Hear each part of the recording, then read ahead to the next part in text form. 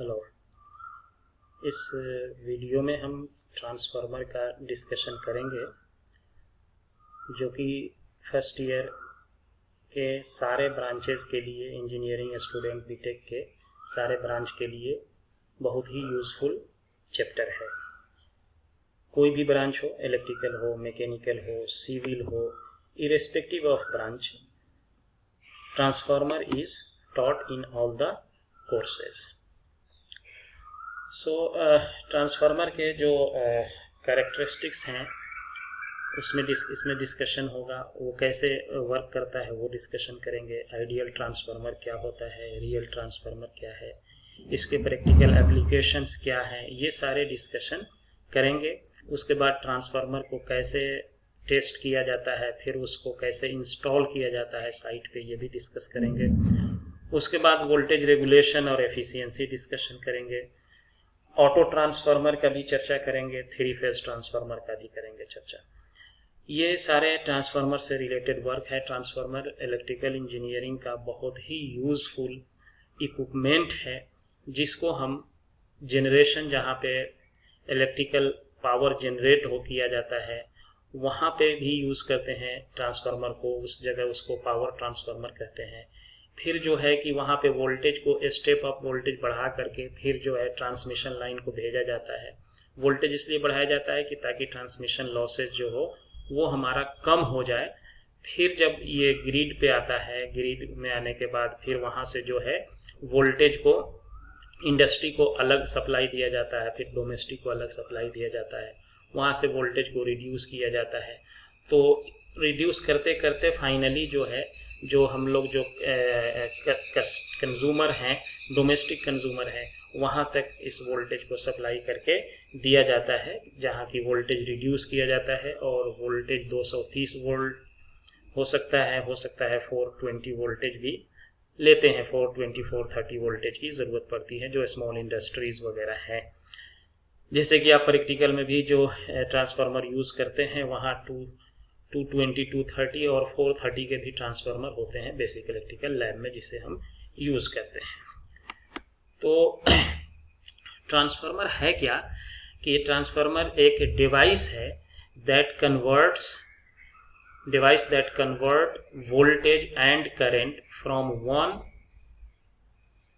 electrical circuit to another via magnetic coupling through via magnetic coupling without changing the frequency इसके frequency में कहीं भी कोई change नहीं होता है जब ट्रांसफार्मर जो है एक साइड से दूसरे साइड तक जब हमारा वोल्टेज को ट्रांसफ़र करता है या करंट को ट्रांसफ़र करता है तो उस कंडीशन में हमारा जो है कि कहीं भी फ्रीक्वेंसी का कोई चेंज नहीं होता है।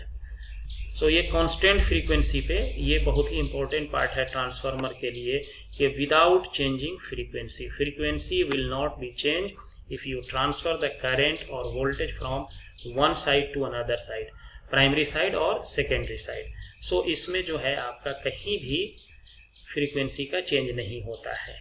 लेकिन ये फ्रीक्वेंसी जब आप इंडक्शन मोटर जब हम डिस्कस करेंगे, उसमें देखेंगे कि फ्रीक्वेंसी जो है स्टेटर और रोटर साइड में दोनों में अलग होती है फ्रीक्वेंसी और फ्रीक्वेंसी चेंज हो सकती है। लेकिन यहाँ फ्रीक्वेंसी चेंज नहीं होती है। इफ़ वोल्टेज इज़ इंक्रीज अगर हम वोल्टेज बढ़ा देते हैं तो करंट क्या हो जाता है? डिक्रीज कर जाएगा। अगर वोल्टेज हमारा इंक्रीज होगा तो करंट क्या कर जाएगा? डिक्रीज कर जाएगा। At the same side it is called step up transformer जिस साइड में वोल्टेज ज़्यादा होगा, उसी साइड में करंट क्या कर जाएगा? डिक्रीज कर जाएगा। और ऐसे ट्रांसफार्मर को हम क्या कहते हैं? स्टेप अप ट्रांसफार्मर कहते हैं।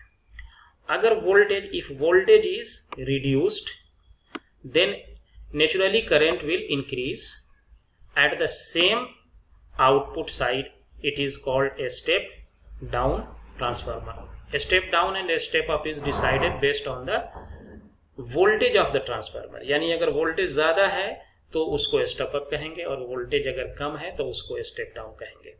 अब इसमें ट्रांसफार्मर में यहाँ जो जनरल ट्रांसफार्मर की हम बात करते हैं, इसमें दो साइड होता है primary side and secondary side तो प्राइमरी साइड का मतलब ये होता है कि जिधर हम कनेक्शन यानी सोर्स इलेक्ट्रिकल एनर्जी देते हैं, वो साइड हमारा प्राइमरी होता है, और जिधर से हम आउटपुट लेते हैं, वो साइड हमारा सेकेंडरी होता है। ये इंटरचेंजेबल भी है मीन्स की जिस साइड से आपने प्राइमरी लगा, जिस साइड से सोर्स दे दिया सप्लाई दे दिया, वो आपका प्राइमरी हो जाएगा और जिस साइड से आउटपुट ले लिया, वो सेकेंडरी हो जाएगा। तो मैंने देखा कि ये ट्रांसफार्मर जो है, ये दो तरह के बेसिकली फ़ंक्शन करता है। या तो वोल्टेज को घटाता है या बढ़ाता है। अगर वोल्टेज बढ़ रहा है तो उसी समय करंट जो है, वो कम हो रहा होगा। और अगर वोल्टेज कम है तो सेम टाइम करंट जो है, ज़्यादा होगा।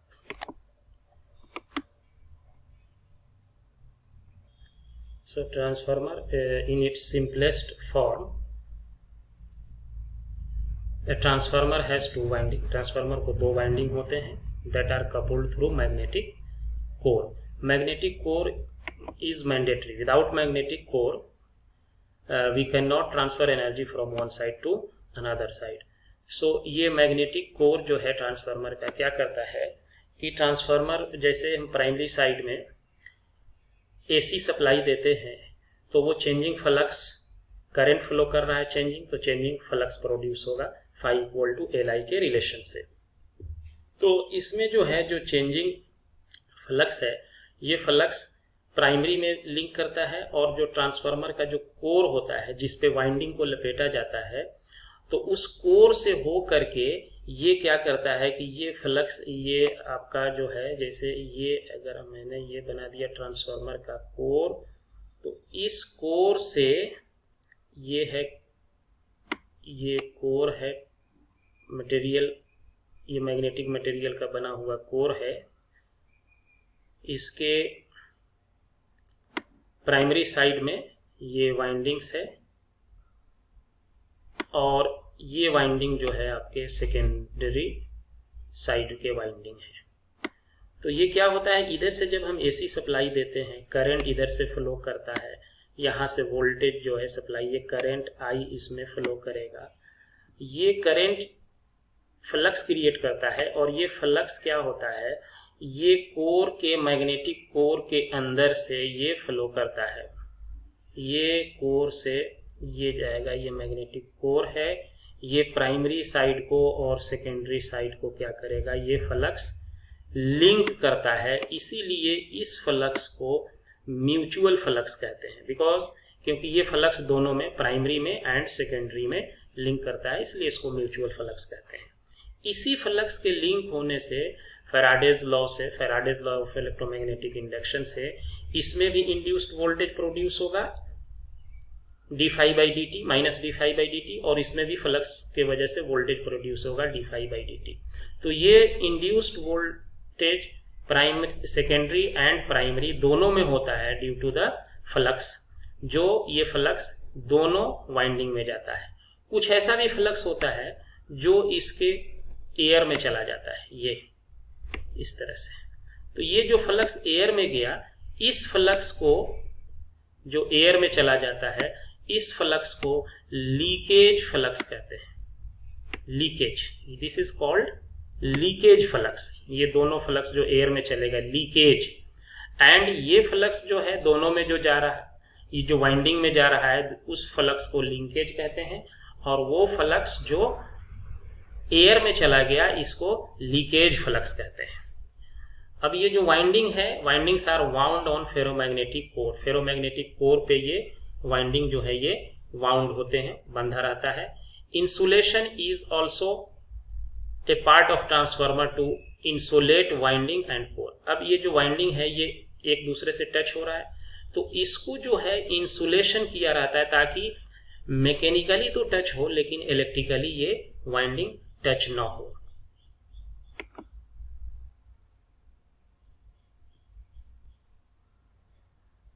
क्लासिफिकेशन ऑफ़ ट्रांसफार्मर ट्रांसफार्मर के तीन क्लासिफिकेशंस हैं। पहला क्लासिफिकेशन है बेस्ड ऑन ऑपरेशन यानी कि ऑपरेशन के बेसिस पे दो तरह के होगा स्टेप अप होगा या स्टेप डाउन में स्टेप अप मीन्स हियर यहाँ जो है कि आउटपुट वोल्टेज जो होगा, ये वी आउटपुट जो होगा, ये ज़्यादा होगा। वी आउटपुट मोर होगा। और जब आउटपुट वोल्टेज ज़्यादा हो जाएगा तो आउटपुट करेंट जो होगा, वो क्या हो जाएगा? करंट जो है, कम हो जाएगा। आउटपुट करंट जो है इसमें डिक्रीज कर जाएगा। आउटपुट वोल्टेज इंक्रीज करेगा तो आउटपुट करंट क्या है? डिक्रीज कर जाएगा। इसका वैस वर्षा जो है स्टेप डाउन ट्रांसफार्मर में स्टेप डाउन में आउटपुट वोल्टेज क्या हो जाएगा?